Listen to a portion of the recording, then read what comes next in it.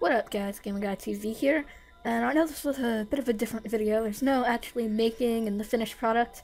I just thought this was kinda cool because we're in the middle of a windstorm at the moment. So I just thought it was kinda cool and thought I would uh, share it with you guys. So thanks for watching, make sure to subscribe, see you next time, bye!